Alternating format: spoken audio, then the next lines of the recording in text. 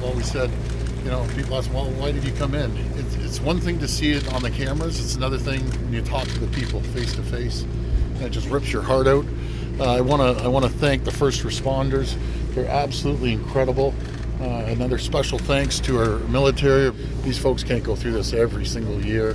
I think it was 2017 it happened, and they, they say it's 100 year storms. Well, well, you know, it's a few years later, and we're back in the same boat.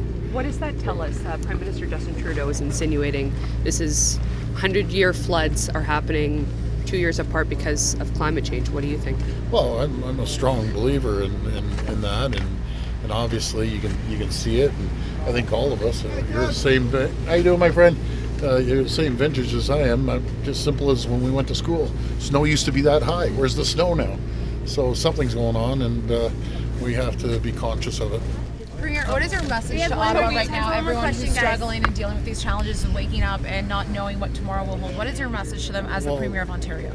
Well, first of all, we have their backs. We're standing shoulder to shoulder with them. Uh, anything they need, we'll be there to support them.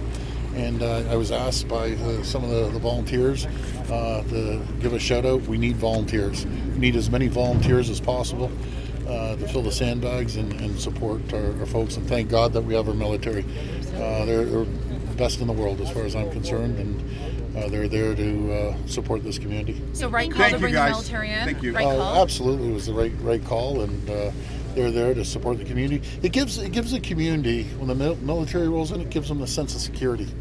It can, uh, you know, like the, the cavalry's coming across the, the top, and it just uh, gives people a sense of security. They're safe.